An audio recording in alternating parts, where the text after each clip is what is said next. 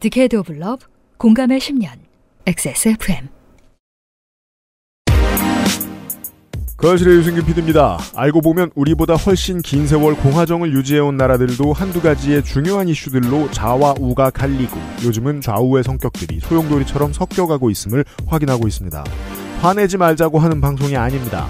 당신이 어디에 진짜로 화가 나는지가 당신의 정치적 자아를 알려준다는 거죠. 24년 8월 첫 금요일에 그것은 알기 싫답니다.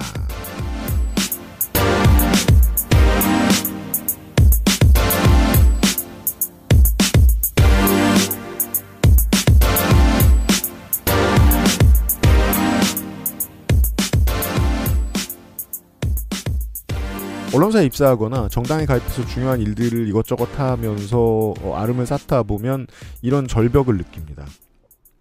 정당은 같은 목소리를 증폭시키려고 존재하고 언론사는 취재력을 키우고 모아서 어떤 목소리를 크게 내기 위해서 존재하는데 그러다 보면 일관성이 생기고 그 일관성은 나와 100% 맞진 않을 확률이 100%입니다. 건조에서도 마찬가지일 겁니다. 우리 회사의 모든 구성원들이 화가 나서 눌리는 버튼이 다 다를 거예요. 그렇죠. 너무너무 다르죠. 살아온 살만큼이나. 입장 차이도 있고요. 감각적 요소들도 엄청나게 많습니다. 그냥 감각이 저걸 거부해. 음, 네. 난 딴 건 몰라도 저건 저건 싫은 것 같아. 음. 저 얘기는 안 했으면 좋겠어. 그리고 다들 갈려요. 제가 당부드리고 싶은 말은 몇 가지가 갈릴 수는 있는데요. 정당도 커뮤니티도 논의하면서 양보하고 얻어내고 하면서 앞으로 나아갑니다. 안 그럴 방법은 없습니다. 나한테 가장 절실한 것을 내 인생 안에서 해결하지 못할 가능성도 있는 거죠. 정치는 그렇습니다. 그래서 어, 어제와 오늘의 이야기는 여러분이 최선의 것을 얻어내시려면 이런 걸 고민해 주세요는 아닌 것 같아요. 언제나 제가 제일 좋아하는 거죠. 여러분이 최악을 피하시려면 음, 이런 것을 고민해 주세요. 정도 아닐까 싶어요. 항상 속어법은 많은 위로가 되죠. 저는 직업을 고를 때도 그랬어요. 지금 있는 아? 업계를 고를 때도. 아 그래요? 네. 음. 저는 아 그렇겠다. 맞아요. 20대 땐 그래야 돼요. 네. 예. 저는 34세 이 직업을 찾는 바람에 음. 따질 게 아무것도 없었거든요. 아, 네. 됐고 딴지가 날 받아준대. 다급한 상황이었거든요. 빨리 빨리 구매해야 돼. 맞아요. 마, 마, 맞아요. 그런 느낌이에요. 네. 음. 매진되기 전에. 심심할 때 우리 어릴 때 많이 하던 이상형 월드컵 같은 거죠. 아, 그렇죠. 네. 알고 보면 고른 게 아니라 소거한 거거든요. 네. 근데 그게 오히려 더 위로가 돼요. 지금의 나의 상태를 인지하는 데 있어서. 음. 내가 뭘 피해서 여기에 왔나? 그래서 나는 무엇을 더 견딜 수 있고 어떤 선택을 할 때 뭘 버리고 또 뭘 더 강조할 수 있나? 이런 생각을 하기는 하는데 도움이 됩니다. 맞아요. 여러분들도 도움이 되시길 바랍니다. 곧 시작하죠. 그것은 알기 싫다는 액세스몰 하이파이 섹션 에그타르트와 스콘 맛집 꾸루꾸루 촬영할 때 쓴 그 원료 그대로 진경옥에서 도와주고 있습니다. 건강기능식품 광고입니다. 식전에 로아스엘 혈당 그리고 다이어트를 드셔보세요. 바나바잎 추출물이 식후 혈당 억제에 도움을 줄 수 있고 가르시니아, 캄보지아 추출물은 탄수화물의 지방 합성을 억제해서 체지방 감소에 도움을 줄 수 있어요. 이젠 챙겨 먹자. 로아스엘 혈당 그리고 다이어트. 제조원 우리바이오 유통판매원 로아스엘 바이오팜. 당신은 휴식이 필요합니다. 주방에서, 출근길에서, 잠들기 전 침대에서까지. 소리와 나, 둘만의 휴식. 액세스몰 하이파이 섹션.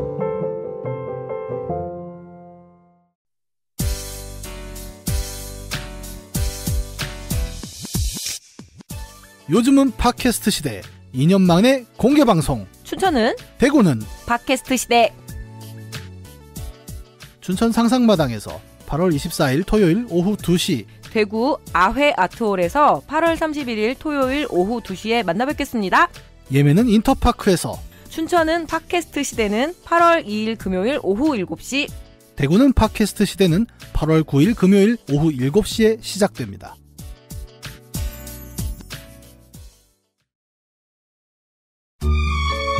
어, 프랑스에 살면서 많은 마카롱을 먹어봤었죠. 하지만 언제나 만족했던 건 아니었어요. 절 가장 만족시킨 마카롱이 한국에서 왔다면 믿을 수 있나요? 촉촉한 식감, 은은한 달콤함. 제가 마카롱이 기대했던 모든 것이었어요. 네, 오뉴 마카롱이요. 입안 가득 프랑스의 달콤함. 꾸르꾸르 오뉴 마카롱. 우리 신입사원이 걱정인 게 지금 우리 물건을 다 써보질 못했어요. 맞아요. 저의 늘 고민이에요. 네. 근데 제가 약간 여쭤보기도 이상하지 않나요? 딱 출근해서 저 마카롱 먹어봐도 돼요? 그러니까요. 사실 저 그러니까 데일리라이트 맥주 용어 빼곤 다 설명해 줄 수 있긴 한데 그죠. 꾸루꾸루 마카롱도 빨리 먹여야 되겠습니다. 여튼 안 먹어보고 광고를 하겠습니다. 네, 꾸루꾸루 마카롱이 돌아왔답니다. 드셔보신 분들은 반가워하시겠죠? 네. 100%통 아몬드를 갈아 만든 이탈리안 머랭 방식의 coque.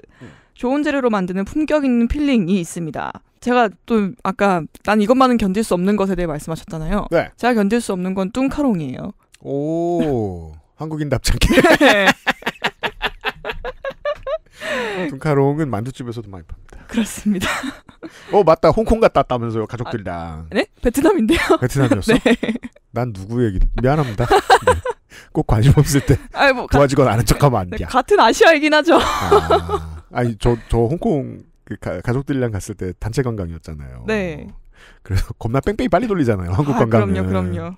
어 그때 이제 되게 유명한 마카롱 집에 한번 들러서 먹어본단 말입니다. 아 그때 엄청 만족했습니다. 어. 어, 꾸루꾸루가 더 낫다는 걸 확인하는 순간에 네 후기가 많습니다. 그런 비슷한 이야기가 나와 있는 어떤 맛이 좋을지 모르겠다 싶으면 A세트, 골라 담기가 가능한 D세트, 과일 맛 B세트, 진하고 깊은 맛 C세트가 있습니다. 오, 이거 너무 좋은 구분이네요. 과일 맛 마카롱을 좋아하는 사람과 진하고 깊은 초콜릿 뭐 이런 걸 좋아하는 사람 차이에는 아하, 그렇구나. 큰 차이가 있잖아요. 그렇구나. 네. 네, 네.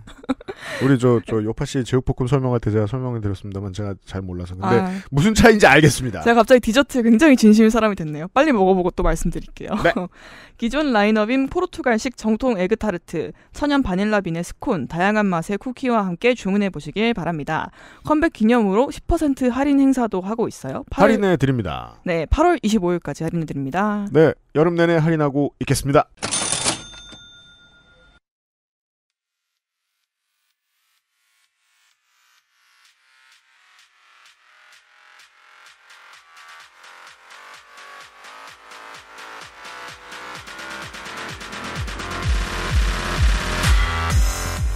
북유럽 연구소 팟캐스트 에디션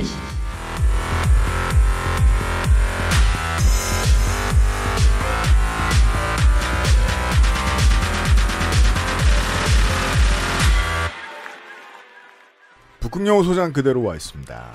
안녕하세요. 문외한들이 흔히 하는 실수죠. 음, 쉬는 시간에 스웨덴에 대해서 네. 건조 에디터가 자기는 무빙밖에 모른다는 핀란드 얘기를 했습니다. 이렇게 까발려 버리시다니. 근데 수치스러워라. 생각보다 많은 사람들이 네. 북유럽 삼국에서 온 사람들을 만나서 이런 수치스러운 시- 실수를 합니다. 네. 아 어제 제가 딱 그걸 봤거든요. 그 무슨 무민 극장판에 성우 섭외 짤이었는데 되게 막 귀엽잖아요 무민 캐릭터들이. 근데 막 성우 하는 사람으로 막 되게 장난으로 섭외를 한 것 같았어요. 막 그 북유럽 출신들 배우 있잖아요. 어, 막 뭐 그- 스카스 골드 막 네네네 이런 거. 스카스가드 뭐 매즈 미켈슨 뭐 거긴 심지어 덴마크인데 아무튼 아무튼 대충 그쪽 배우들 다 넣어놓은 거예요. 그래서 제가 어 스웨덴 이렇게 생각하는 거예요. 네. 핀란드 배우 중에 아는 사람이 없어서 그런 게 아닐까. 저는 그러게요. 핀란드 배우는 모르는. 아, 네. 그 유명한 말이 있어요. 핀란드 사람 아는 이름 대보세요. 나루호도. 음, 나루호도. 그럼 일본 사람들도 잘 모를 거라는 말씀입니다. 그렇다니까요. 무민이라고 해야겠다 그냥. 네. 제가 어제 오늘 이야기가 재미있는 이유가 그겁니다. 정치에 관심을 가질 만한 충분한 인생의 경험과 토양을 북 소장님은 가지고 있어요. 원래는 관심이 없었던 것 같은데, 그 스웨덴에서 공부 충실히 하다가 여기 와서 제도를 들여다보면 재밌는 게 정말 많거든요. 음. 사실 저는 일본인이 뭐 북유럽 어딘가에서 정치학을 공부하다 돌아와서 일본으로 와도 대단한 궁금증이 없을 수도 있다고 생각해요. 음. 왜냐하면 일본 정치는 궁금증을 허락하지 않기 때문입니다. 질문이 하나밖에 없어요. 왜 똑같지? 밖에 없어요. 근데 아. 한국은 알면 알수록 질문들 많이 생산해 주잖아요. 우리한테 우리의 호기심을 자꾸 긁어대잖아요.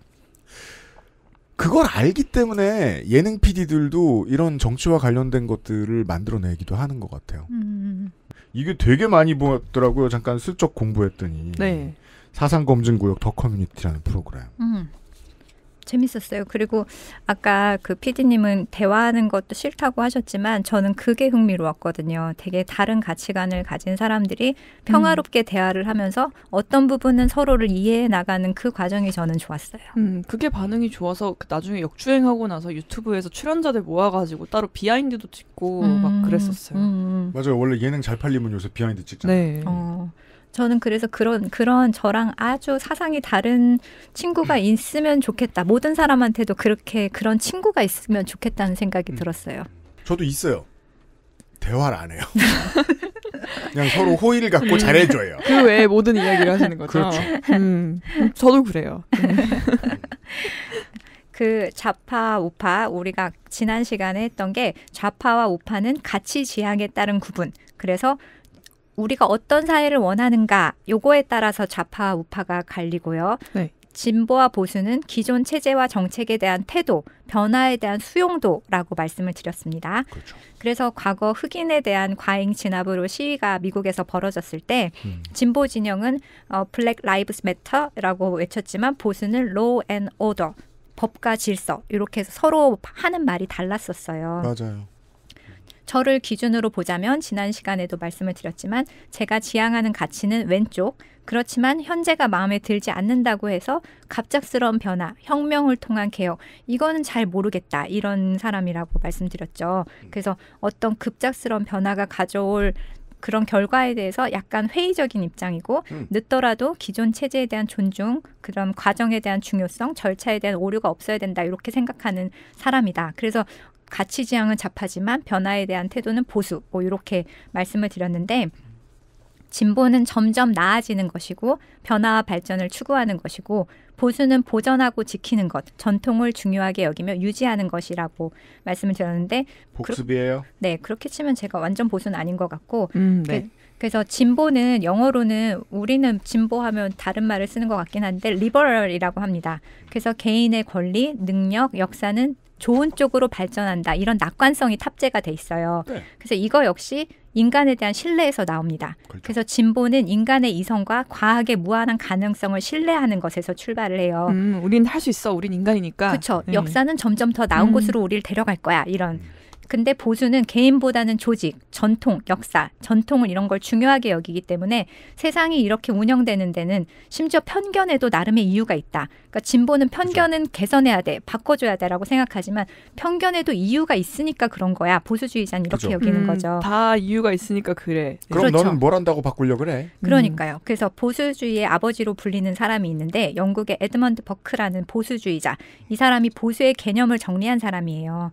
그래서 이 사람이 보기에 프랑스 혁명이 정말 무지하고 나쁜 짓이었겠죠. 그래서 프랑스 혁명에 관한 성찰이라는 책을 썼는데 이 프랑스 혁명가들이 무분별하고 경솔하다 이렇게 하면서 책을 쓴 내용 중에 이런 부분이 있어요. 이것을 읽어주시겠어요? 네. 그것이 편견이기 때문에 우리는 더욱 소중히 여긴다는 사실을 고백합니다. 더 오래 지속된 편견일수록, 더 일반적으로 만연되어 있는 편견일수록, 바로 그 이유로 우리는 그러한 편견을 소중히 여깁니다. 우리는 사람들이 각자 저마다 자신들의 사적인 이성에 입각해 살게 될까봐 두렵습니다. 사람을 못 믿겠다. 왜냐하면 각 개인이 가진 이성의 양은 작기 때문에 사람은 멍청이다. 오랜 세대에 걸쳐 축적된 국민 전체의 자본을 각자가 이용함으로써 더 훌륭한 결과를 얻을 수 있다고 생각하기 때문입니다. 있던 대로 해라. 그래서 이 버크가 말하는 편견은 신, 영혼, 도덕, 공동체 이렇게 이런 거는 이성과 과학만으로 설명하거나 해결할 수가 없다. 개인을 중요시하는 자유주의보다 공동체와 전통이 더 중요하고 이것을 이끌어가려면 어떤 권위, 그러니까 뭐 군주라든지 종교라든지 이런 게 필요하다고 믿는 겁니다. 철인. 그렇죠. 그래서 그- 혁명하면 안 된다. 그렇죠. 그래서 버크로 대변되는 보수주의는 개인 또는 인간의 이성보다는 비록 편견일지라도 오랜 시간에 걸쳐서 쌓아온 사회적 전통이나 관습 또 경험 이런 게 지혜의 축적이기 때문에 나름의 이유가 있기 때문에 이런 것이 더 합리적이고 신뢰할 만하다 이렇게 보았습니다. 그래서 아마도 이 버크가 말하는 보수주의자가 말하는 가장 이상적인 사회는 계몽군주가 지배하는 사회일 거예요. 똘똘한 왕. 그렇죠. 착하고 똘똘한 왕, 공동체에 대해서 진심이 있는 그런 왕이 지배하는 사회가 보수주의자가 보기엔 가장 이상적인 사회죠. 플라톤이 말하는 뭐 철권 군주 이런 거요. 그 기본적으로 옛날에 아무나 글자를 읽을 수 없던 시절에는 음. 지식인은 기본적으로 리버럴입니다. 공부한 다음에 인류가 나아가지 못한 어떠한 한 발을 딛는 일을 내 공부의 결과로서 보여주고 싶거든요. 내가 공부를 이렇게 열심히 했고, 음, 내가 세상을 발전시켰다. 예, 남들은 못하는 거 많이 한 사람인데, 그럼 지금까지 이런 걸 집대성해가지고 앞으로는 무엇으로 나갈 수 있을 것인가? 그러다 말고 보통 보수의 가치에 끌려요. 어떤 그런 순간이 옵니다. 19세기 내내 많은 사상가쟁이들이 그랬던 모양이에요. 이 책도 이제 19세기 직전에 나왔죠. 그 19세기에 많은 학자들이 프랑스 혁명을 연구한 거예요. 그래서 근데 프랑스 혁명을 이렇게 접근한 거예요. 이게 진보적으로 어떻게 나갔느냐를 연구한 사상서보다는 사회과학 그 당시 사회과학 서적들은 그래서 이게 너무 급하진 않았나? 라는 걸 성찰하는 책들이 더 많이 나가요. 그러니까 제가 학부 때 제일 즐겨 읽었던 구스타브 르봉의 군중심리학 같은 거예요.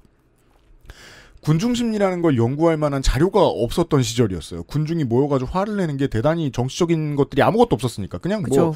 어, 누가 사형 당할 때? 음. 축제? 이런 때 보면 군중이 모일 일이 없어요. 전쟁? 이런 때 명절. 빼고는. 근데 군중이 군중의 의지 같은 무언가를 넣어서 모인 꼴을 처음 본 겁니다. 프랑스에서. 음. 그 다음부터 회의에 가득해진 거예요. 이거 무서운 거 아니야? 왜 사람들이 귀족을 사지를 찢으면서 즐거워해? 아 이거 통제 못할 것 같은데인 거죠. 이게 혁명이 아니고 사륙이잖아. 음. 이 비인간적이고 즐거워하는 사람들을 보라고 라면서 거기에 대한 분노를 일가라는 학자들이 되게 많았어요. 그리고 그 당시의 사회과학 저서들이 지금까지도 보수주의자들에게 텍스트북이 됩니다. 군중은 모이면 미치게 돼 있어. 군중이 군중의 의지대로 하는 게 아니야. 그렇죠. 저건 통제돼야 돼. 그 근거를 설명을 해주신 거예요. 그럼 그럼 어떻게 해요? 다 이유가 있어. 이제까지 해오던 것들은 그게 왕정이든 뭐든 말이다. 얘야. 그래서 이제 보수주의자들이 볼 때는 그래서 실제로 뭐가 바뀌었어? 너의 삶이 나아졌니? 어, 정말 지혜로운 군주가 나타나서 제도를 개혁해서 합법적으로 개혁해야지 정말 사회가 나아지는 거야. 뭐 디즈데일리를 봐, 노동권을 개혁했죠. 비스마르크를 봐, 복지를 도입했잖아. 이런 식으로 보수주의자들은 그렇게 말. 그렇게 치면 우리나라의 세종대왕 같은 사람들은 보수주의자가 아주 좋아할 만한 인물이 되겠죠? 그러네요. 그렇죠. 네. 철인군주. 그렇죠. 반면 계몽주의 사상의 주요 목표는 개인을 속박해왔던 족쇄, 구제도, 앙시앙 레짐으로부터 개인을 해방시키는 것입니다. 그래서 개인이 속박에서 자유로워질 때 비로소 개인의 재능이 자유롭게 완전히 full potential로 발휘가 된다고 생각했고 그래서 진보와 보수가 개인 대 집단, 개혁 대 전통으로 대립각을 세우게 된 기원이 된 것이죠. 하지만 이렇다고 해서 보수주의자들이 변화를 완전히 거부하느냐? 그건 아니에요. 이 버크 같은 사람이 말하길 변화의 수단을 가지지 않는 국가는 국가를 보존하는 수단을 가지지 않은 것이라고 주장을 했습니다. 따라서 보수주의가 사회의 진보적인 변화를 전적으로 부정하거나 거부하는 것은 아니고 대신에 사회적 변화에 조심스러운 태도를 취하는 것이고 또 그것은 그 변화가 더 나은 결과를 가져올 것인가에 대한 불확실 내지는 급격한 변화로 인해 유발되는 커다란 사회적 비용과 혼란을 두려워하기 때문으로 기존의 체제가 전혀 모순이 없다던가 혹은 개선이 되어야 한다는 부분이 없다고 생각하기 때문에 그러는 게 아, 닙니다 그러니까 이, 이 결과가 두려운 거지 변화에 대해서는 인정을 하고 있어요. 음, 그대로 살자는 거는 아니다. 음, 그쵸. 개선해 나가자는 개선은 거죠. 근데 그 개선을 조심스럽게 하자. 그쵸. 그래서 이 혼란, 갑작스러운 변화가 가져올 혼란과 사회적 비용이 두려운 것이고, 그래서 이 역사적 계속성의 관점에서 변화가 일어나야 된다고 보는 것이고, 변화 자체를 거부하는 사람들은 보수주의자가 아니라 수구라고 부르는 그렇죠. 편이 적절하죠. 아. 그러니까 여기에서 현대 정치를 공부할 수 있는 열쇠가 나오고 어, 에드먼드 버크의 발견을 지금까지도 많은 사람들이 이야기하는 이유이기도 합니다. 에드먼드 버크가 발견해낸 건 이거예요. 대중 정치에서 좌우는 벡터 값이 비슷하다. 음. 근데 속도로 가른다. 음, 어, 네. 이러면 여기서부터는 절대적인 기준이 없어지게 된다는 걸 밝혀낸 거예요. 음, 상황에 따라 그 예. 다른 백도 값은 차용할 수 있다. 네. 분당 1m 나가느냐, 분당 1km로 나가느냐로 구분할 수 있다는 거예요. 음. 근데 더 나아가면 분당 990m인지 991m인지를 가지고도 진보와 보수를 구분할 수 있게 되죠. 그래서 지금을 설명하는 게 더 재미있어 집니다. 지금 극우는 어떻죠? 과거로의 회귀를 원하죠. 음. 심지어 예전보다 막 더 많은 민영화. 음. 일본과의 합작, 군사적. 그쵸. 음, 수구의 구가 그 옛, 그러면- 옛 구자잖아요. 네. 음. 이 수구 보수는 벡터 값이 달라요. 그렇죠. 음. 방향이 다르잖아요. 여기서부터 재밌습니다. 음. 그래서 결국 진보와 보수를 구분하는 차이는 변화와 개선을 인정하느냐 마느냐가 아니라 변화의 진행과 추동력에 대한 수용도의 차이 조금 전에 말씀해 주신 거죠. 벡터와 그, 그 숫자. 그 다음에 지금 우리 사회는 불합리해 공정하지 않아. 우리는 세상을 더 나은 곳으로 바꿀 수 있어. 문제를 그냥 내버려둬선 안 돼. 우리 스스로를 믿고 빠르게 개선하자. 그 방법의 하나로 혁명도 배제하지 않는다가 진보라면 기존 체제가 발전해온 데는 나름의 이유가 있어. 급격한 변화가 어떤 부작용을 가져올지 모르잖아. 적법한 절차 안에서 우리 점진적으로 개선을 추구해 가자. 이게 보수의 태도라고 볼 수 있습니다. 음, 근데 저는 이 기준으로 볼 때 생각보다 대다수의 사람들은 자기가 생각하는 것보다 보수일 거라고 생각해요. 어, 그럼요. 네. 이게 이런 이론 얘기가 쓸모없는 게 아니라는 걸 제가 자꾸 말씀드리고 있는 거예요. 그러니까 모든 면에서 이 이론을 대입해 보면 어떨까를 생각해 볼 수 있는 겁니다. 음. 가장 최근에는 민주당에서 당원들에게 국회의장 선출의 권한을 약간 양보하는 게 어때라는 논의가 나왔습니다. 그랬죠. 네. 그 모든 면에서 리버럴임이 한 번도 의심되어 본 적이 없는 아, 민주화 유공자 다선 국회의원들이 이것을 반대했습니다. 원인은 뭐죠? 나도 나름 급격한 변화를 이끌고 주동해온 사람이지만 그런 내가 봤을 때 이게 너무 급격한 변화다. 음, 속도가 다르다. 내가 원하는 것과. 네. 그리고 거기에는 이제 이건 고관여층의 영역이에요. 네. 언제나 그 변수가 느껴진다는 겁니다. 음. 저 사람 개인적으로 무슨 일이 있었지? 저 사람이 예전보다 지금 있는 시스템, 현재의 시스템을 더 신뢰하게 된 이유는 뭐지? 예전엔 안 그랬는데? 예전의 벡터 값은 이 사람에게 어떤 느낌이었고, 지금의 벡터 값은 이 사람한테 어떤 느낌이지? 입장이 달라졌나? 돈이 많아졌나? 권력이 많아졌나? 음. 혹은 지금 사회는 이대로 가도 된다는 만족감이 생겼나? 같은 질문들을 가지고 정치인을 해석해 볼 수 있겠죠. 이 음. 이론이 있다면. 고급편. 고급편. 그래서 비단 정치인이 아니더라도 우리 건조 에디터님 말씀하신 것처럼 평범한 사람들도 우리가 생각하는 것보다 저는 대한민국 사회는 굉장히 보수적이라고 네. 생각해요. 변화에 있어서는 오히려 어, 다른 그럼요, 나라에 그럼요, 비해서. 그럼요. 그래서 이렇게 볼 때 진보와 보수는 어떤 특정의 정치적인 이념이나 가치의 내용이라기보다는 사회를 변화시키려는 실천적 태도나 행동 양식입니다. 그럼 이제 이 정의를 알고 나서는 보수이신가요? 진보이신가요? 아, 전또 사안에 따라 다른 것 같기도 해요. 아까 음. 말씀하신 것처럼 결국 저의 유불리에 따라서 음. 각각 사안에서의 저의 벡터 값도 달라지고 음. 뭐 그렇죠. 적합하다 생각하는 속도도 다르고. 음. 그죠. 이제 우리는 이런 거 이제 현실 정치에 대입해 보기가 쉬워졌습니다. 한 시간 동안 듣다 보니까. 내 성별, 내 나이, 네. 내 소득 수준, 음. 내 신체 조건, 음. 내 인종 다 상관 있구나. 음, 그렇죠. 네. 네, 나이가 더 먹어가면은 이제 내가 이룬 것들이 생기잖아요. 음. 내가 이룬 것들을 내가 얼마나 지키고 싶은가. 내가 이룬 것들을 내어준 이 사회가 얼마나 정당해 보이는가. 음. 즉, 내 아웃풋이 만족스러운가. 이런 것들이 그때그때 나를 보수 진보로 바꾸죠. 변형 가능성이 있다. 음. 네. 그래서 정리하면 진보와 보수는 어떤 특정의 정치적 이념이나 가치의 내용과 무관하게 전면적인 사회 변화, 빠른 변화에 대한 수용 태도와 이런 변화를 추동하는 주체인 인간에 대한 신뢰, 낙관에 대한 구분. 그래서 좌파 우파는 해당 시대를 지배하는 이념과 제도를 비판하고 극복하고자 하는가 아니면 이것을 옹호하는가로 구분을 하게 됩니다.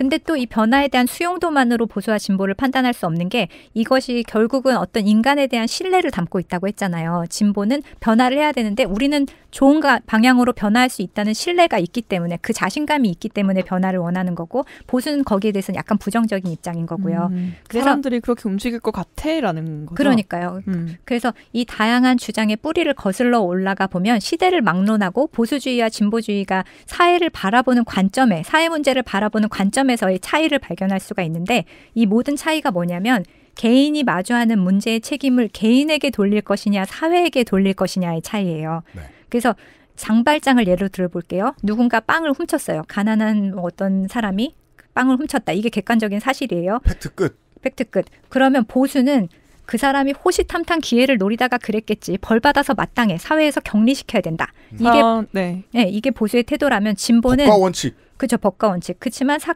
진보는 사건의 이면과 배경을 들여다봅니다. 그 사람이 왜 그랬을까? 왜 배가 고파서 무언가를 훔치는 지경까지 갔을까? 만약 이 사람이 배고프지 않도록 사회가 돌봤다면 그 사람이 이런 죄를 저질렀을까? 다시 이 사람이 죄를 짓지 않게 하려면 사회는 어떤 무엇을 해야 할까? 이게 이제 사안을 바라보는 진보와 보수의 근본적인 차이라는 것이죠.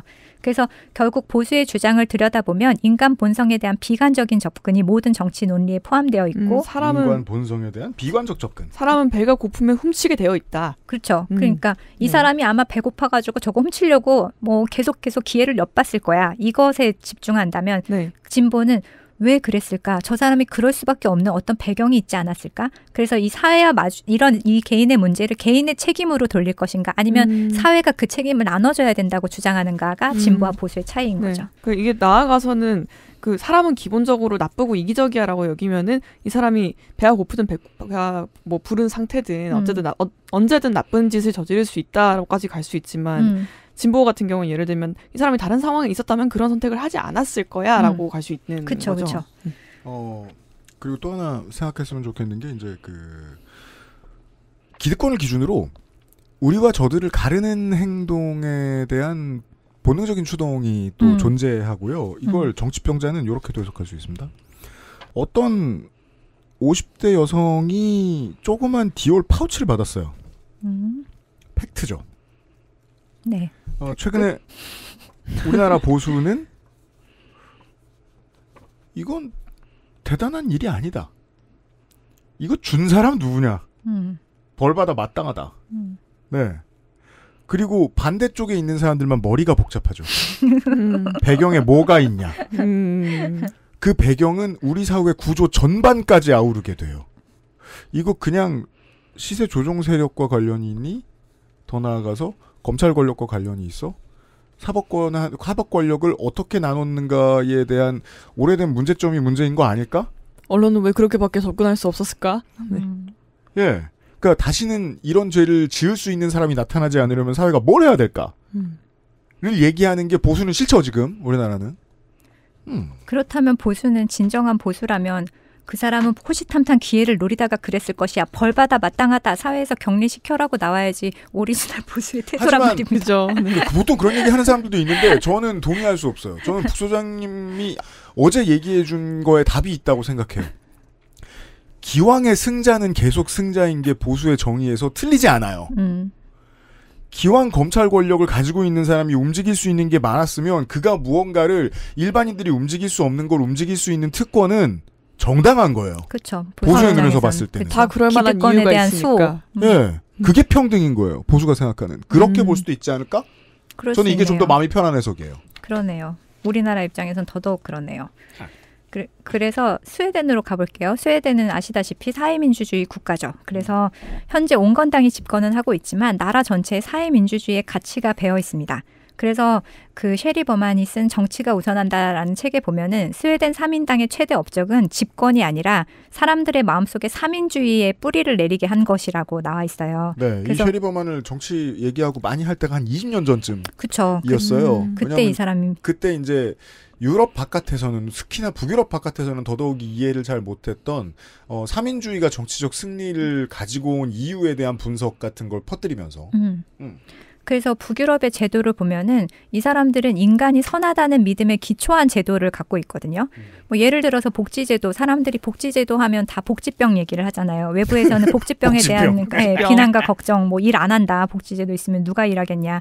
근데 북유럽 사람들의 신념 체계에서는 놀고 먹으면서 제도의 열매만 누리려는 사람은 없을 것이다. 사람들은 안 나빠 그렇게. 네, 일하는 게 즐겁잖아. 그래서 실업 수당, 병가 수당, 뭐 자녀 돌봄 효과 이런 거는 신뢰에 기반해서 사실 이런 거는 그 뭐 병원 진단서 내지 않아도 쓸 수 있거든요. 그러니까 인간에 대한 신뢰가 깔려 있고 그다음 감옥에 대해서도 감옥은 처벌이라고 생각하지 않고 교정 시설이라고 생각해요. 그래서 인간은 자신의 잘못을 뉘우치고 개화될 수 있다. 인간의 선의를 의심하지 않죠. 그래서 이게 어떻게 보면 북유럽 제도 아니면 이런 복지 제도의 바탕에 깔려 있는 삼인주의 사상 그 매력이긴 해요. 네, 이게 그, 뭐, 네. 아, 문화적인 코드가 된 거네요. 네, 네. 그 삼인주의의 이상향의 근본이에요. 이게 법 없이도 살 사람들이다. 사람들은. 음. 네. 그리고 일반적 보수 정치는 법 없으면 다 법을 무시해. 음. 인 거고요. 그리고 실제로 그런 믿음을 가지고 있는 게 사람들의 생활의 실천이라고 할까요? 실제 음. 태도를 교정하는 효과도 있는 것 같아요. 맞아요, 맞아요. 그리고 또 재밌는 게 저는 북유럽에서 가장 이해가 안 되면서도 웃음이 나는 제도가 하나 있는데 네. 2등을 지원하는 제도가 있어요. 2등이요? 네. 그래서 만약에 음. 국회에서 이제 다수당이 있고 그다음에 뭐 그다음 제2당, 제3당 이런 게 있잖아요. 네. 그러면 두 번째 정당한테 지원금을 두 배를 줘요. 정당 지원금을 주잖아요. 말이 안 어, 되잖아요. 네. 원래 의석수에 비례해서 주게 돼 있을 텐데. 일종의 어. 적극적 차별 철폐군요. 제가, 그렇죠. 제가 국내에서 그런 시스템을 본 건 테일즈 러너밖에 없는데. 그게 뭐예요? 아, 그 달리기 게임인데요. 아. 가끔- 지난주 이야기 를 네. 참고해 주십시오. 네. 현질 안 하는 애들한테 선물을 더 줍니다. 네, 그렇습니다. 네. 어, 그래서 이, 여기서는 그렇게 하는 이유가 한 당이 계속 독주하는 건 민주주의에 도움이 되지 않는다고 생각하는 거예요. 그렇죠. 어떻든 간 힘의 균형이 있으려면 2등이 계속 1등 할 수 있는 문화를 만들어줘야 된다고 생각하기 때문에 이게 사실 이 정당뿐만이 아니라 다른 음. 지원제도도 이런 식으로 구성된 게 가- 많거든요. 2등한테 두 배를 주는. 그래서 이게 말이 안 되는데 사람들이 동의를 한 거고 이 제도를 만들 때 1등이 동의를 했으니까 이런 제도가 만들어진 거일 거 아니에요. 그죠? 네, 그래서 그런 게 참 신기하기도 하고 아까 말씀하신 음. 생활 속에 어떤 의식이 심긴다는 게 어, 2등해도 괜찮겠는데 하는 생각이 들 음. 수밖에 없는 코로나 때 뉴스 브리핑을 진행하다가 같이 하시 그 스웨덴 얘기를 하게 됐어요. 같이 하시던 기자분이 저한테 물어보시는 거예요. 아니 어떻게 이 중한 상황에서 의사들 휴가 줄 거 다 주고 어르신들 돌아가시게 하는 선택을 할 수 있냐? 북유럽 사람들은. 음. 저도 말문이 턱 막히는 거예요. 왜냐면 거기까지는 저도 그때도 이해를 못 했거든요. 아주 특수한 이머전시가 어, 사람의 사람에 대한 믿음이라거나 이 인간적인 일상성 일상성을 깨버리게 하면 안 된다. 라는 스웨덴의 사람들의 합의. 이걸 우리는 이해를 못 해요. 예. 경험도 안 해봤고 상상도 안 되고. 그러니까 한국인의 스탠다드는 2020년 한국인의 팬데믹 대비였어요. 좌충우돌 막 피곤해 죽어가면서 다들 일렬 정대로 빨리 가서 처리하도록 해. 알겠습니다. 그러니까 그 삼육병원에 지금도 크게 걸려 있는 그 방호복 입은 간호사 선생님이 할머니하고 고스톱 치는 그 감동적인 그림. 그게 한국인 네. 멘탈이거든요. 그죠. 네. 근데- 저도 네, 저도 거기서 못 벗어나고 있는 것 같아요. 근데 또 외국에서는 어떻든 우리가 코로나에 대한 대비 대응을 잘했기 때문에 권위주의 좌파라는 개념이 다시 막 그 연구 대상에 오르고 있어요. 아 그래요? 네. 한국을 사례로요? 네, 한국, 한국 중국을 사례로. 재밌죠. 네. 그래서 문제를 보는 관점으로 누가 책임을 질 것인가, 사회 책임이냐, 개인 책임이냐에 따라서 보수와 진보가 갈라진다고 말씀을 드렸는데, 이 어떤 사안이 발생했을 때 이게 도덕적으로 옳으냐, 그르냐 따지는 기준으로도 진보와 보수가 나뉩니다.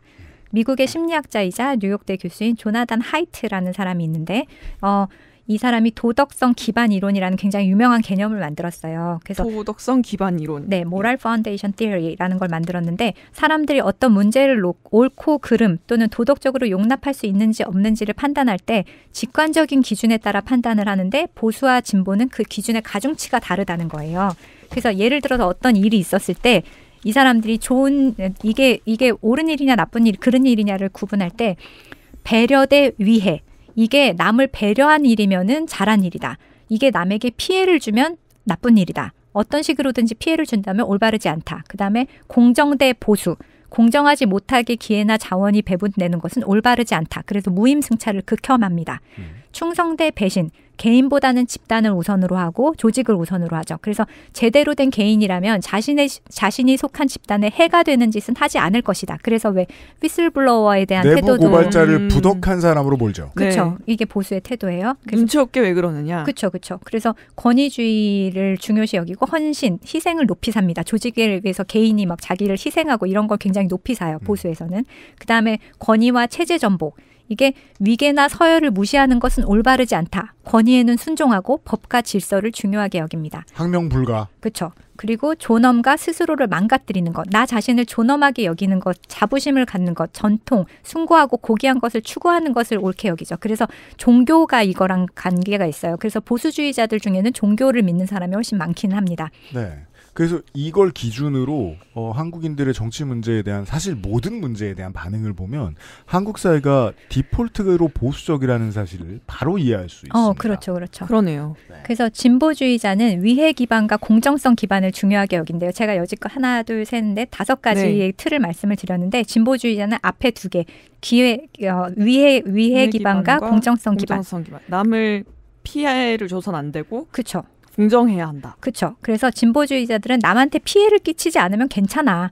공정 역시 다른 사람이 가져야 하는 기회를 뺏는 것이기 때문에 이제 피해를 주는 것의 일종이라고 보는 거예요. 그래서 남에게 피해만 안 주면 괜찮다. 요게 진보주의자들의 태도라면 그래서 타인에 대한 수용이나 존중이나 다양성 인정이 되게 높겠죠. 뭐 피해만 안 주면 괜찮잖아. 요런 요런 태도를 갖고 있으니까. 근데 보수주의자들은 요 다섯 가지를 다 본대요. 아 전부 다요. 네, 다 중요하게 여기는 거예요. 어. 그래서 보수는 집단의 이익을 중요하게 여기고 개인이 튀거나 전체 이익에 반하는 행동하는 것을 용납하기가 어렵습니다. 그러니까 훨씬 더 까다롭게 어떤 태도나 행동이나 이런 거를 어, 보는 거죠. 잣대가. 법 체계에서도 차이를 보이는데 이 부정적 네가티브 시스템이라는 게 있고 포지티브 시스템이 있어요. 그래서 포지티브 시스템은 이렇게 해라, 이렇게 해라, 이것만 허용된다 이런 제한적인 의미를 갖지만 네거티브 제도는 이것 빼고 다 해도 돼. 이렇게만 하지 마라. 그래서 법률이 규정하지 않는 것은 다 허용하는 시스템이거든요. 그래서 보수주의 뭐 기업인들은 사실 네가티브 시스템을 좋아하죠. 이것 빼고 다 해도 된다라고 샌드박스 샌드박스 네. 할때 그 샌드박스가 이거죠. 음. 그렇죠, 그렇죠. 그래서 포지티브 제도는 규제 우선 제도이고 네가티브 제도는 자유 우선 제도입니다. 아, 되게 흥미롭네요. 흔히 진보에 대한 요새 뭐 과도한 PC 이런 거에 대한 음. 비판을 보면은 음. 진보가 과도하게 너무 도덕적이고 너무 음. 까다롭고 뭐 프로 불편러고 바뀌었죠. 그, 네 그런 얘기들을 하는데 이렇게 보면은 사실 그런 도덕적인 걸 따지는 기준 자체는 보수가 훨씬 까다롭고 많다는 거죠. 어제 시간에 이미 얘기 나왔어요. 그 진보는 극좌에 가까워요. 음, 음, 권위주의가 필요하다는 믿음이 점점 커지는 거죠. 맞아요, 음. 맞아요. 네. 극자에 가까운 것도 있고 저는 우리 사회 디폴트 값이 보수에 가깝기 때문에 그런 것 같기도 해요. 그래서 정치적이고 도덕적인 판단은 어떤 단계를 거쳐서 이루어지는 것, 내 이성으로 나를 설득해서 이루어지는 게 아니라 직관에 의한 것이라는 겁니다. 그래서 왜 사람들이 왜 가난한 사람들이 보수를 공화당을 뭐 지지하지 국힘을 왜 부모님은 나랑 이렇게 의견이 다를까? 난 부모님을 설득을 할 수가 없네. 이런 거는 그럴 수밖에 없어요. 왜냐하면 이게 이성의 영역이 아니라 직관의 영역이고 선호의 음. 영역이고 오랫동안 축적된 그 사람의 가치관이기 때문입니다. 그래서 나랑 의견이 다르다고 해서 어떤 사안에 대해서 어 이거 괜찮지 않아 하는 거랑 어떤 사람 막 화를 내는 사람이 있다면 그 사람을 적대시하거나 나쁜 사람, 이상한 사람, 뭐 또는 적폐 이렇게 규정할 수가 없어요. 왜냐하면 모든 사람은 다 각기 다르게 살아왔고 이념이나 정치 성향은 내가 선택을 한다기보다는 자라난 환경에 따라서 내가 어떻게 할 수 없는 신념이 돼버린 경우가 있기 때문이죠. 그렇죠. 그래서 우리보다 나이가 많은 세대라든지 아니면 특정 지역에서 오랫동안 살았던 사람인 경우 이런 경우에는 이게 이 사람이 원해서 그런 게 아니고 이 사람 에게 어떻게 살면서 이렇게 녹아들었던 어떤 가치관의 영역이기 때문에 그걸 가지고 그 사람한테 뭐라고 하거나 바꾸라고 하기가 어려운 거죠. 대구하면 건조. 그죠? 그래요? 네, 전 대구 출신입니다. 어, 그렇구나. 네, 네, 근데 정말 차이가 큰 것 같아요. 이 가- 심지어 같은 세대 안에 젊은 세대라고 음. 하더라도 수도권의 20대와 계속 대구에서 여기 지역 차별적이라고 생각하실 수도 있겠지만 음. 여기서 말씀하신 그 자라는 환경이 다른 거에 대한 그런 그쵸. 얘기인 음. 거예요. 그러니까 기본적으로 습득하는 것이 다르고 맞아요. 접하는 것이 다르다 보니까 음. 거기에서 나갈 수 있는 가능성은 또 개인마다 다르겠지만 음. 뭐 어떻게 발전시키는가에 대해서는 네 당연하게도 대구는 무조건 그런 사람들만 있다는 얘기가 절대 아니고요. 아, 네. 근데 그럴 수 있을 것 같아요. 왜냐하면 어릴 때는 부모님의 의견이 굉장히 중요하잖아요. 근데 그죠. 어렸을 때 부모님이 하는 이야기를 듣고 자라면 내 마음속에 당연히 그게 그렇다고 생각할 수 있을 것 네, 같아요. 네, 그 저는 대표적으로 생각되는 게 그 대구는 지금도 학생인권 조례가 없는 음, 지자체거든요. 음. 그래서 체벌이라든가 아니면 좀 더 가혹한 방식의 처벌이 다른 지역보다 좀 더 오래 남아 있었어요. 음. 저만 해도 막 양말 색깔까지 규정을 하는 학교가 아직도 있었을 정도로 음. 제가 다닐 때도 그랬었거든요. 근데 그걸 어 뭐 그렇게까지라고 생각을 하면서 그냥 거기 인정하고 따라갈 수밖에 없는 청소년기를 계속 보냈다고 한다면은 여기서 말씀하신 그 세대 중에서 권위와 체제 전복에 대한 기준이라던가 음. 뭔가 충성과 배신 뭐 이런 음. 그런 도덕 기준에 대해서 뭔가 이걸 내가 까다롭게 따져야지 내가 살아남을 수 있구나라는 방식의 학습을 할 수밖에 없는 것 같아요. 음. 네. 그래서 내가 좀 더 그런 높은 위치에 올라갔을 때 나 역시 그게 작동되는 게 당연하다고 생각할 수 있는 것 같고요. 맞아요. 그래서 지금까지 진보, 보수, 좌파, 우파의 가치, 중요하게 여기는 가치를 살펴봤는데 이게 그러니까 서로 옳다 그르다를 말할 수가 없어요. 각기 그냥 상대적인 개념이에요. 그래서 과거에 죽은 시인의 사회라는 영화 보셨어요? 네. 거기 보면은 학생들이 조회 시간에 교훈을 네 가지를 외치거든요. 저도 그 가- 장면 되게 어, 인상적이었는데. 그 장면은 기억이 안 나는데 이런 장면이 있었군요. 어, 깃발을 이렇게 딱 들면서 막 tradition, honor, discipline, excellence 막 이렇게 외치거든요. 이게 음. 전통, 명예, 어, 훈육, 그 다음에 탁월함 뭐 이런 건데 이 네 가지를 보면 완벽한 보수의 가치죠. 그렇죠. 그래서 여기에 기존의 전통과 가치를 뒤우는 인물, 그 키팅 선생님이 등장하잖아요. 이 사람 보면 완전 진보의 그 가치를 그죠. 대변하는 사람이에요. 자기 뭐 자유. 그런- 어 자유 그다음에 막 권위를 뒤집고 막 자기 선생님이 아니 캡틴이라고 부르라고 막 그러고 막 현재를 즐겨라 carpe diem 하고 시인이 되라 그러고 막 삶을 즐길 애들을 타락시키는 거죠. 어떻게 보면. 90년대 적 학원물의 끝판이었습니다. 네. 그래서 그 아까 그 기호학자 그 세금 relief를 말했던 코끼리는 생각하지 말을 쓴 기호학자 존 레이코프가 이 보수와 진보 정부를 규정할 때 가부장적인 가정과 친구 같은 부모가 있는 가정 요렇게를 진보와 보수 정부로 나눠서 비유를 해요. 음, 네. 그래서 죽은 시인의 사회에 나오는 학교와 키팅 선생님을 보면은 완전히 보수와 진보. 그 다음에 똑같은 배우가 나오네요. 구딜 헌팅도 보셨죠? 아, 저 이건 안 봤습니다. 그 구딜 헌팅 보셨죠? 아우 재밌죠. 거기 이 청소부인 윌의 재능을 발견하고 아, 아, 알아, 아 뭔지는 알아요. 어, 네. 그 수학 선생님이 얘 천재구나 하고 이끌어주려는 근데 약간 가부장적이고 얘를 몰아붙이는 선생님이라면 음. 아이 사람이 스웨덴 사람이네요. 이 사람이 스텔란 스코스코드니까. 음. 그리고 상담 선생님으로 로빈 윌리엄스가 나오잖아요. 그 이 사람도 또 진보를 대변하는 그러니까 다정하게 상담해 주는 그 사람과 강하게 밀어붙이면서 얘한테서 최고를 끌어내려는 사람. 그게 완벽한 진보와 보수를 보여주는 거죠. 그러니까 이게 두 사람이 다 필요했어요. 이 사람한테는 이 윌한테는. 그러니까 뭐가 좋고 나쁘다 이렇게 말하기는 어렵죠. 그래서 우리가 인식하는 진보와 보수의 성향은 어떤 스테레오 타입이 있어요. 그래서 자신이 진보라고 생각하고 진보냐 보수냐에 따라서 개인의 기호나 선택이 이렇게 특정한 경향성을 보이는다는 연구가 있거든요. 되게 재밌더라고요. 네, 이런 거 궁금해하는 교수님이 꼭 있죠. 존 히빙이라는 교수, 네브라스카 대학의 교수님이 찌질한 그건- 내용의 그것을 연구인데 궁- 궁금해했습니다. 재미는 있습니다. 네, 이런 건 또 보면은 진보주의자와 보수주의자, 좁게는 미국의 민주당, 공화당을 지지하는 사람의 뇌와 개인의 기호를 분석한 연구가 있었어요. 이게 있다니까요. 그래서 진보와 보수의 경향성, 정치적 차이의 생물학이라는 연구가 있습니다. 음. 그래서 예를 들어서 보수주의자는 평소에 감자를 많이 먹는데요. 감자요? 네. 굉장히 클래식한 음식이잖아요. 퍽퍽하게. 우리의 쌀 같은. 근데 진보주의자는 아시아 음식, 뭐 이렇게 다른 나라 음식 있잖아요. 음. 이런 음식을 즐겨 먹는다고 하고 이게 그왜 MBC 강점기 시절 이진숙 씨가 아주 좋아하던 MBC였던 시절에 전설적인 근육량이 많은 보수 이런 아, 네. 거 있잖아요. 알통보도요. 네. 이게 생물학 중에서 제일 나쁜 우생학으로 나갈 위험을 담고 있기 때문에 네. 이런 실험이 위험하죠. 음. 다만 재밌는 건 있습니다. 아, 너, 너 짜장면 먹어? 너 진보야? 그런 그런 거죠. 근데 이 한국에서 네. 그- 근데 이거는 사실 뭐라 그럴까 우열을 보여주는 건 아니에요. 그냥 차이를 보여주는 거죠. 그래서 이거는 그냥 이 사람들을 관찰하고 뭐 이런 경향성을 측정한 건데 보수주의자는 예측 가능한 것을 좋아하고 진보주의자는 실험적인 도전에 열려 있는 편입니다. 그러니까 음식도 항상 아는 맛을 좋아하는 사람이 있고 새로운 음식에 도전하는 사람이 있다는 미국인에게 거죠. 음. 중요한 레토릭이긴 해요. 어, 도시민들 중에서 좀 더 열려 있는 사람들은 다양한 인종의 다양한 동네에 가서 많은 음식들을 먹어볼 수 있는 기회를 가진다라는 편견이 있고 음. 그게 어느 정도 입증될 수도 있겠죠. 그러니까 그 민주당 지지자는 대부분 도시에 사는 사람들이고 공화당 인- 어, 지지자는 도시 바깥에 사는 사람들이 많죠. 그러니까, 그러니까 편견이 강화되진 않았으면 좋겠지만 우리도 이런 그림은 안다는 거예요. 음. 왠지 팸코 애들은 안산 다문화 거리에 그 맛있는 식당들 안 가볼 것 같아요. 음. 음, 그럼 어딜 갔나요? 오마카세? 감자를 먹겠죠. 한국인의 감자 제육볶음을 먹지 않을까. 네. 이렇게 하여튼 이 예측 가는 건거 좋아하고 실험적인 도전에 열려 있고 그 다음에 거실이나 사무실을 가- 찾아가서 봐도 보수주의자들은 정리가 좀 더 잘 돼 있고 자기가 좋아하는 거 있잖아요 스포츠 뭐 이런 데 관련된 기념품으로 장식한 사람이 많은 반면에 진보주의라고 스스로를 말하는 사람들은 책, CD, 뭐 내가 여행 갔을 때의 기념품 이렇게 활동과 경험과 관련된 것이 많고요. 그리고 아까 진보 보수의 도덕성 기반 이론을 주장했다고 했던 조나단 하이트의 관찰에 따르면 이것도 재밌어요.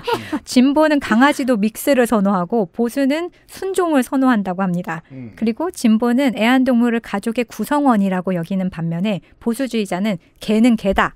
하지만 끔찍히 사랑할 수도 있어요. 그냥 대하는 태도가 다를 뿐이죠. 그래서 단지 동, 동등한 존재가 아니라 너는 애완견이야. 이런 차이일 뿐이지. 하여튼 음. 사랑 끔찍히 사랑할 수도 있습니다. 네, 이건 좀 과거의 가치관에 얼마나 가까운가의 문제인 것 같기도 하네요. 네. 그리고 왜 아까 권위주의에 대한 태도도 보수와 진보를 네. 나눌 수 있으니까. 그리고 분명한 결말이 있는 이야기를 선호합니까? 진보는 열린 결말을 선호한다고 하고 보수는 분명한 결말이 있는 권선징악 이런 구조가 있는 이야기를 선호한다고 합니다. 음악도 주제부가 있는 주요 멜로디가 있는 그뭐 이런 음악을 보수는 좋아하는 반면 진보는 재즈를 좋아한대요. 그래서 전 진보가 아닌 것 같고요. 그 다음에 시도 라임이 있는 시를 보수주의자들은 좋아하고 그 다음에 이 지- 진보주의자들은 자유롭게 펼쳐나가는 이런 시를 좋아한다고 합니다. 음, 근데 이게 그 아까 우생학으로 갈 위험에 대해 말씀하셨잖아요. 그래서 약간 조심스럽게 저희도 얘기를 하고 있지만 음. 지금 그 방통위원장 후보자는 이걸 역수입해가지고 음. 얘기하는 측면이 있는 것 같은데. 역수입이요? 그러니까 역수입이라기에는 이 연- 연구를 뭐 모를 수도 있겠지만 음. 흔히 나오는 레토릭이잖아요. 그러니까 문학에는 왜 다 좌파인가? 아, 네, 그렇죠. 네, 좌파 연예 좌파가 문학계를 장악했다. 어, 그런가요? 그게 이제 어떤 시사평론가들의 생각과 다르게 네. 제가 보기에 이진숙 씨의 쇼핑 리스트는 앞으로 한참 돌 것 같거든요. 음. 그렇다면 이런 질문을 던져야죠. 수구 보수는 왜 호캉스를 좋아하며 빵을 저렇게 많이 먹는가? 음. 저도 빵을 좋아하는데요. 그렇잖아요. 그러니까 우리가 이제 이걸 가지고 어, 너무 많은 걸 적용시키면 안 된다라는 겁니다. 게다가 네. 또그 문화 상품은 시기적 다양성이 있어서 음. 라임으로 말할 것 같으면 지금 애들은 랩을 못하는 걸 좋아해야 진보가 되는 거예요. 음, 20년 전에 저가 애일 때는 랩을 잘하는 걸 좋아하는 게 진보인데 음. 왜냐면 랩이 없던 시절이니까 음. 30년 전에는 음, 그렇죠. 상대적이니까요. 네. 유행이라는 것. 그러니까 이게 경향성이라는 거죠. 네. 경향성. 그리고 뇌의 반응으로도 진보와 보수를 구분할 수가 있대요. 그래서 사고로 다친 사람의 이미지를 볼 때 진보 성향의 사람의 뇌에서는 고통을 느끼는 지점이 눈에 띄게 활성화된다고 합니다. 그래서 이게 좀 더 의미가 있습니다. 그래서 이 뇌의 스캔만을 보고도 아 이 사람 진보겠구나 보수겠구나 이걸 거의 뭐뭐 정확하게 맞출 아, 수그 있었다고 정도로 해요. 정확하군요. 네, 이게 가장 여러 가지 사진으로 했는데 이 사진이 가장 정확하게 구분을 할 수 있었다고 합니다. 그래서 뇌 스캔으로도 정치 성향을 분간할 수 있을 정도라서 어떤 뇌 과학자들은 진보냐 보수냐를 결정하는 성향이 유전자에서부터 한 30% 정해진다고까지 말을 하기도 합니다. 그 제가 영화 소울을 보고 가장 크게 감명한 부분이 그거죠. 사람 어떤 놈인지 다 정해져 있다. 오히려 마음이 편하더라고요. 그 메시지를 받는 순간. 어, 그럴 수도 있어요. 그러면 오히려 공화정의 목표가 우리가 계속 나눈 대화처럼 분명해지는 거예요. 타협해야지. 음. 날 때부터 저런 사람들인데. 그렇죠. 타협해야죠. 네. 싫어하면 싫어할 수가 없어요. 그 이 사람이 네. 날 때부터 그런 사람이라면. 그렇죠. 그 사람들을 없애버릴 수는 없잖아요. 그렇죠, 그렇죠. 그 한국에서도 관련 연구가 있었는데 2020년에 서울대병원의 건준수 뇌인지학과 교수 연구팀이 보수와 진보 성향에 따른 뇌 신경 연결망의 차이를 알아보기 위해서 성인 106명을 대상으로 실험을 했대요. 그래서 설문조사를 미리 해서 정치적 성향을 제외하고 나이와 교육, 사회 인구 학적 특성에서 차이를 보이지 않는 사람들을 실험 대상으로 정했고요. 성향이 보수, 중도, 진보 이렇게 세 집단으로 나눴는데 106명 중에 42명이 진보, 44명이 중도, 16명이 보수로 조사가 됐다고 합니다. 근데 뭔가 이, 결과가 있으니까 그렇게 했을 거 아닙니까? 이 결과 보수 성향을 가진 집단은 어, 발음 테스트 시간. 아나 전두엽과 세기 앞소협 사이, 섬념과 전두국 부근 사이의 연결망 강도가 진보 성향을 가진 집단보다 약 다섯 배 높은 것으로 조사됐습니다. 잘 아시겠죠? 이게 무슨 뜻인지. 어떤 의미인가요? 곤충인가요? 곤충 이름인가요? 근데 지금 말한 이 알 수 없는 단어의 이 연결망이 어려움에 적응하는 기능?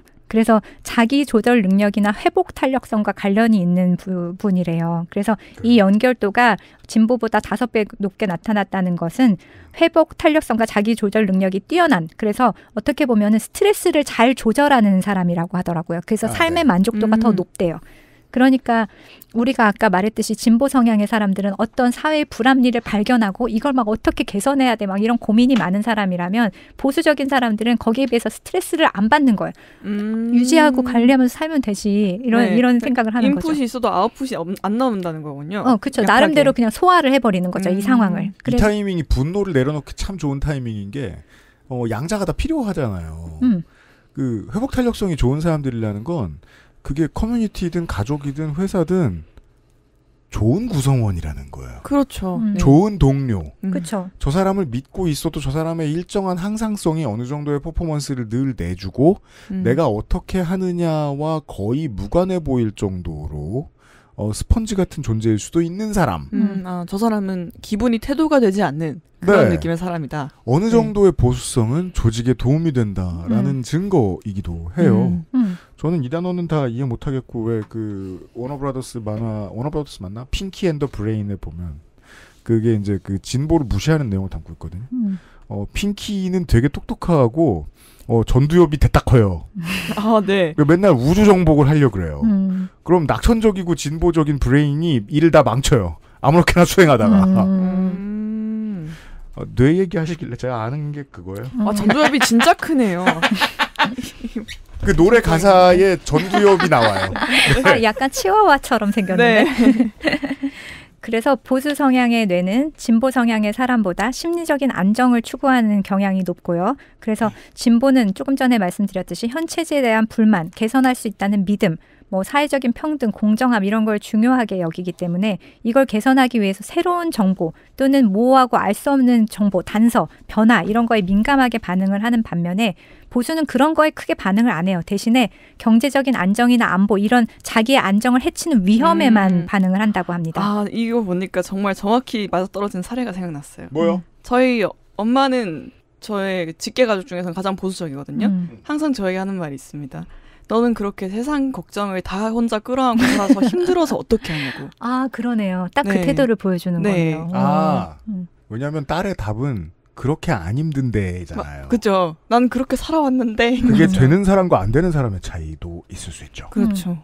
그러니까 이게 그냥 타고난 어떤 성향의 차이일 수도 있는 거예요. 그래서 영국하고 미국에서도 비슷한 연구를 했는데 보수의 사람들은 위험 자극에 대해서 민- 민감하게 반응을 했다고 합니다. 그래서 정치적 성향에 따라서 뇌 기능의 차이가 생겨난 것인지 아니면 뇌 기능의 차이 때문에 정치적 성향이 다른지는 알 수 없지만 그러니까 뭐 알이 먼저냐 병아리가 먼저냐 하지만 이 정치적 입장에 따라서 뇌의 차이가 있는 것은 사실입니다. 그래서 진보냐 보수냐 뭐 좌파냐 우파냐 이거는 온전한 내 선택이 아닐 수도 있어요. 뇌가 이렇게 결정지어졌을 수도 있잖아요. 그리고 여기서 네, 음. 알수 없다고 해주신 부분은 상황 조건이 내 뇌를 그렇게 바꿨나? 그렇죠. 근데 그것도 되게 설득력 있잖아요. 음. 갑자기 개털이다가 부동산이 생겼어. 그 다음에 보수 쪽으로 변했을 수 있잖아요. 그렇죠, 그렇죠. 뇌에 부동산이 입력되면서. 그럼 뇌도 따라가는 거죠. 난 이걸 지켜야 되는 게 지켜야 생기죠. 되니까. 네, 그죠, 그죠. 그럼 뇌는 바뀌어야죠. 음. 진화. 그렇죠. 그래서 정, 정치적인 성향은 내가 결심한다고 바꿀 수 있는 것이 아닙니다. 이런 차이는 어떤 확정적인 것이 아니라 그런 경향이 있다 정도로 받아들여야 되고 여기서 중요한 것은 우리가 어떤 음악, 어떤 음식, 어떤 인테리어를 선호하는지는 취향이나 다름이기 때문에 야 너 왜 그 음악 좋아해? 너 왜 인테리어를 이따위로 야 너 그 음식 먹는다고 이렇게 비난할 수 없듯이 정치적인 성향도 쉽게 바꾸기 어려운 것이기 때문에 상대를 비난하기보다는 인정하고 차이를 받아들이고 시작해야 된다는 거죠. 아 도무지 말이 안 통해 꽉 막혔어 이럴 수밖에 없어요. 그런 사람으로 태어났으니까요. 그래서 내가 태어나고 자라고 성인이 돼서 어떤 성향을 갖게 됐다면 그건 그게 그 사람의 견해가 아니라 그 사람 자신일 수도 있거든요. 그러니까 이 상대를 거부하거나 바꾸겠다고 마음 먹기보다는 서로 타협점을 찾아가는 것이 생산적입니다. 그게 많은 우리나라 정치인들이 가장 어려워하는 지점이고 저도 어렵고 음. 예를 들어 1 정도 멀리 떨어져 있는 사람들을 가까이 끌어들이기 위해서 2 정도 멀리 떨어져 있는 사람들을 적으로 만드는 방법도 있을 수 있거든요. 커뮤니케이션 중에는 뒷담도 있고요. 효율적이죠. 네, 적을 석, 설정하는 일도 있고요. 음. 공동의 적을. 다만 그것도 목표는 있어야 될 거 아니에요? 음. 내가 지금 나한테 설득이 덜 된 누군가를 언젠가 설득시키고 말겠다 정도의 목표는 있어야 된다. 때로 정치를 많이 보다 보면 그 목표도 잊어버릴 때도 있기는 있습니다. XSFM입니다.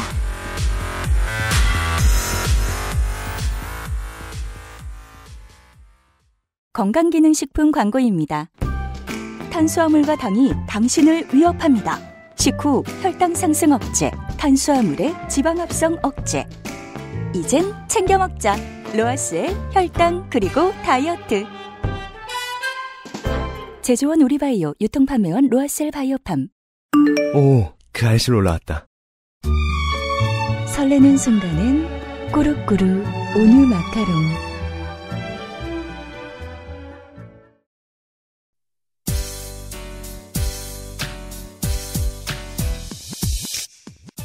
요즘은 팟캐스트 시대. 2년 만에 공개 방송. 춘천은? 대구는? 팟캐스트 시대.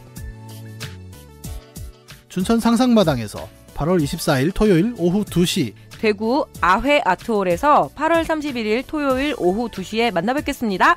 예매는 인터파크에서 춘천은 팟캐스트 시대는 8월 2일 금요일 오후 7시 대구는 팟캐스트 시대는 8월 9일 금요일 오후 7시에 시작됩니다.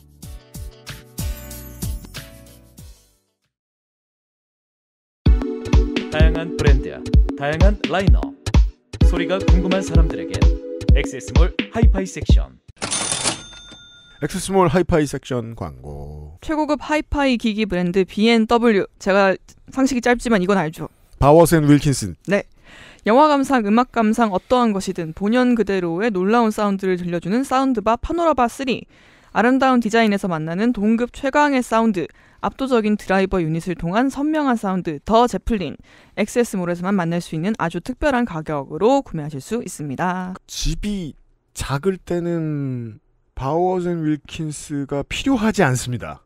그냥 헤드셋만 필요하시면 바워스 앤 윌킨스 생각하실 수 있는데 공간이 아주 넓을 때 유능한 사운드바가 정말 능력을 발휘합니다. 음. 네. 어, 약간 저렴한 거 집어넣으면 80년대 소리 듣는 것 같거든요. 사운드바는 그런 의미가 있습니다. 예. 제플린은 사실 써보신 분 아니시면 이거 지출하시는 게 힘드니까 설명을 더 이상 안 하겠습니다. 하이파이야말로 정말 가장 좀 효과가 좋은 사치제인 것 같아요. 어, 그렇죠. 합리적 월급 음. 도둑으로 어, 사운드바나 제플린을 생각하시는 분들한테 정품 가장 합리적인 가격은 엑세스몰입니다.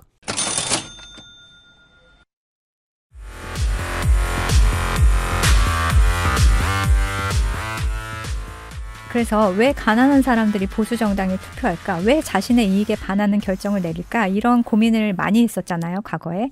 근데 재밌는 게 있어요. 이거는 선거를 하시는 분들은 귀 기울여 들으시면 좋을 것 같은데 워슬린 효과라는 것이 있습니다. 이 워슬린이 리차드 워슬린이라는 사람인데 과거에 레이건 대통령의 선거 전략 책임자였대요. 음. 이 사람이 분석을 해보니까 유권자는 합리적이지가 않더라. 그렇죠. 음. 어떤 정책이나 쟁점에 대해서 후보의 입장에 대해서 동의를 하거나 이게 나한테 이득이 되는지 마는지에 따라 투표를 하는 게 아니더라. 그 사람들이 특정 후보를 지지하고 그 사람한테 표를 주는 네 가지 근거가 있는데 첫째는 동일시. 자신과 후보자를 동일시하기 때문에 개인에게 호감이 가는 사람을 선택하더라. 아, 레이건은 젊었을 때 초미남이었습니다. 그냥 배우였죠. 배우였잖아요. 네. 호감이 가는 사람한테 하더라. 그다음 둘째 가치.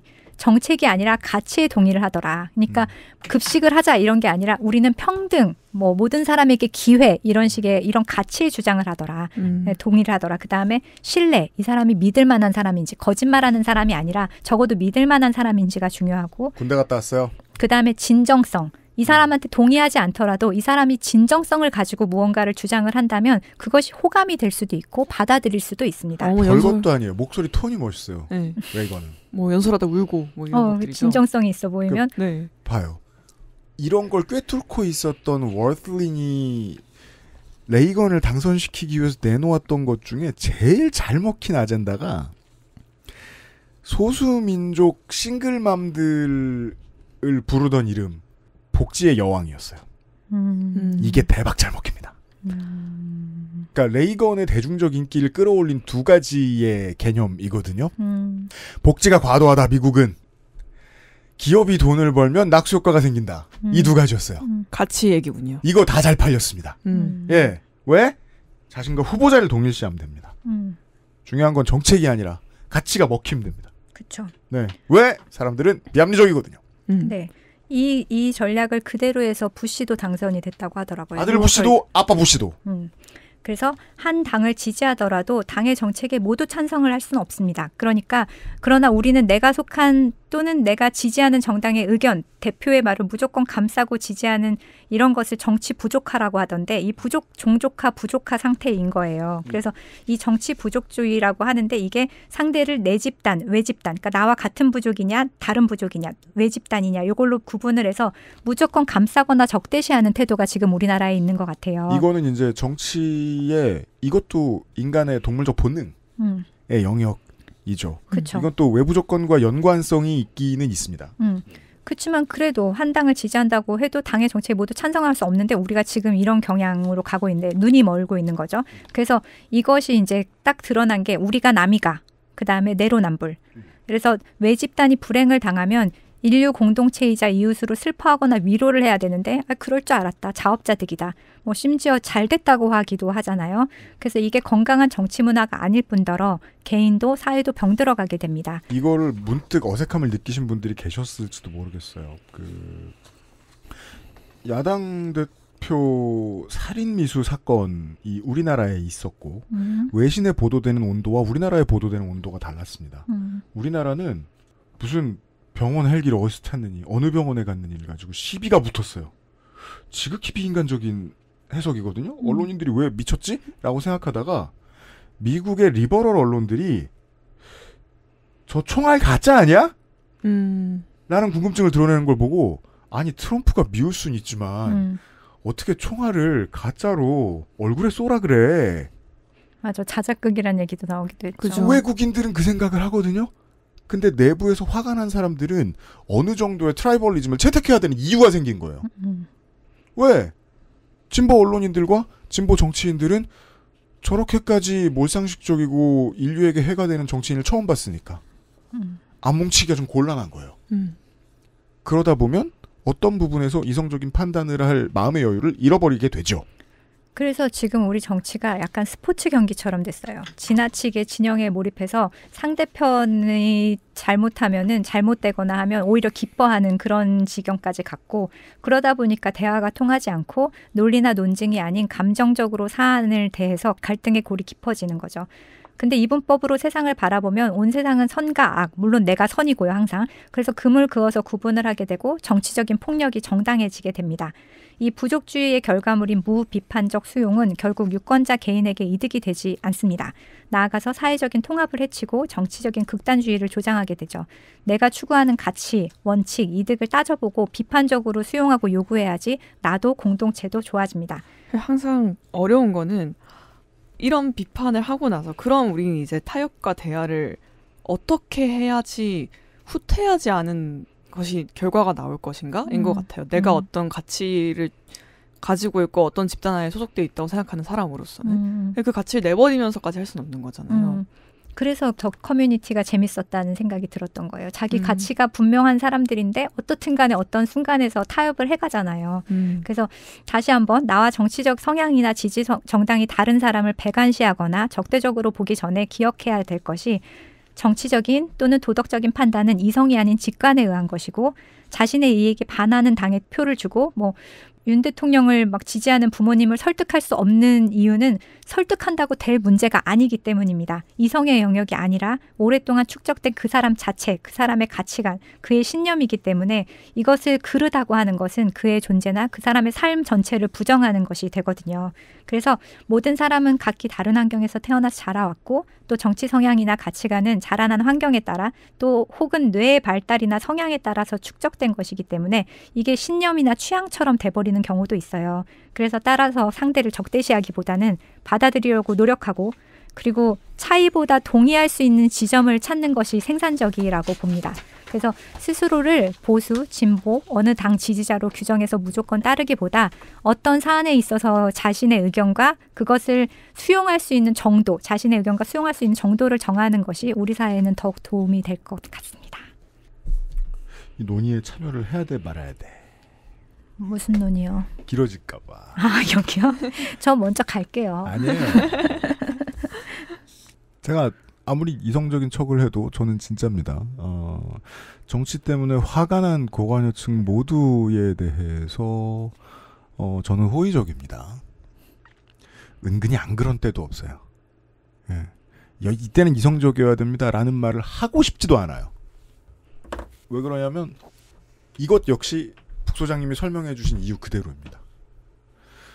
그분들이 살아온 삶의 가치 전체를 부정할 생각도 없고 오히려 긍정하고 싶은데 긍정을 하자고 했더니 저분들이 저렇게 정치적으로 분노해 해 있는 이유도 받아들이는 게 맞겠다는 생각을 했거든요. 반대에 있는 사람들이 생각해 봅시다. 선거 때마다 제3정당이 나와요.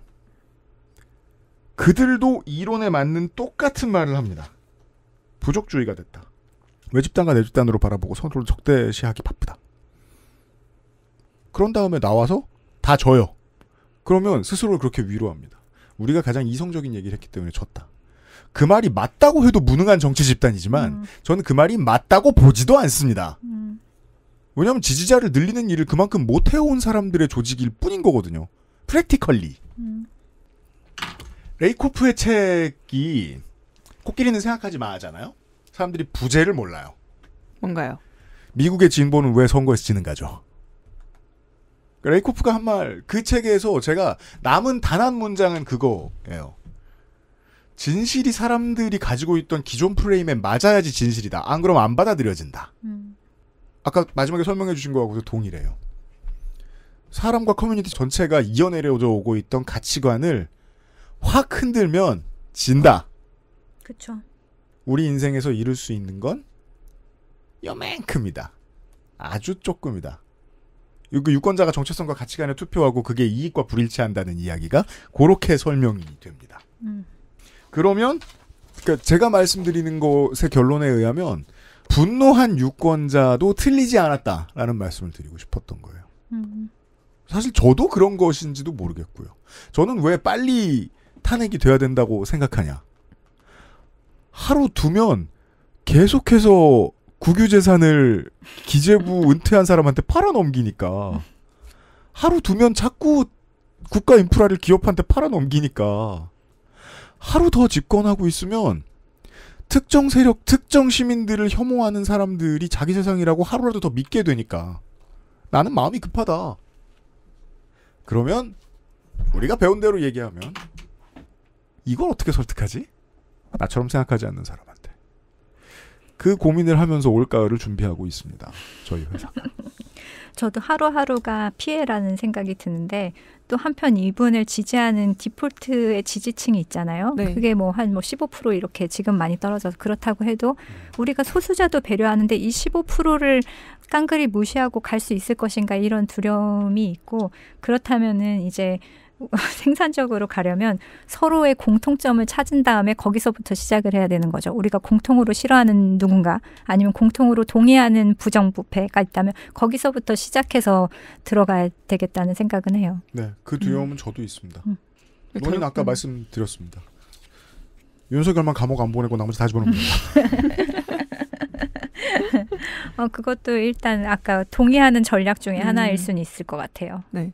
그래서 저의 요즘의 고민은 그이 이론을 다 받아들인다고 했을 때, 이걸 기반으로 한다고 했을 때, 그럼 내가 누구를 설득할 것이고, 누구를 인정하고 난 다음에 그 사람들 만- 맞는 전략을 만들거나 혹은 포기하거나 무시하거나를 각각 어떤 상황에서 선택할 것인가?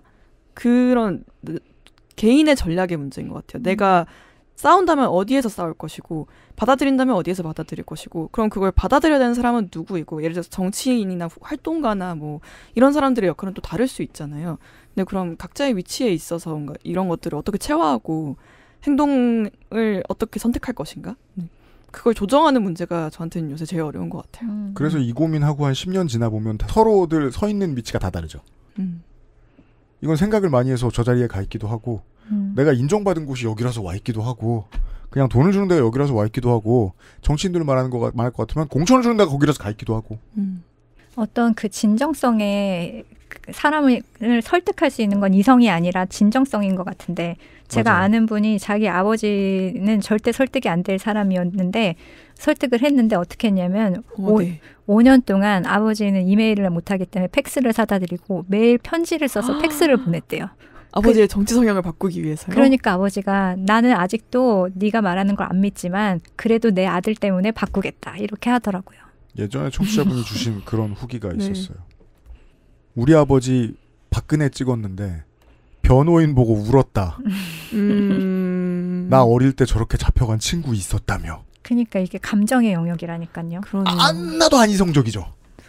한 개도 안 이성적이어가지고 너무 합리적이네요. 네. 이성이 모든 이성이란 이성이란 이성은 다 동원돼서 만드는 정치고 결론은 감성이 내줍니다.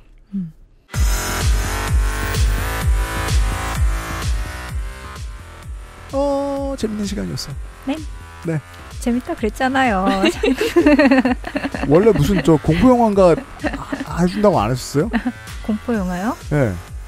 뭔가 무서운 거 특집 해준다 그랬었는데. 아, 나? 남양 특집이요? 네. 제가요? 잘 기억해봐요. 제가 공수표를 너무 많이, 많이 남발했나? 이런 아 제가 그거는 진정성이 부끄럽 공포 영화. 나 생각해보면 부끄러운 공포 영화 별로 없었을 거야. 왜요? 라스 폰트리에가 있는데. 시퀀스를 별로 중요하게 여기지 않잖아. 그냥 죽었어. 이러고 끝나잖아. 두둔. 내가 죽였어. 굿날 굿나스. 어 어떻게 알아요, 분날을? 그것만 알아요. 네. 네.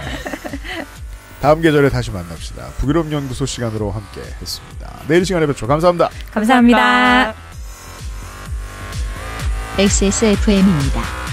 I D W K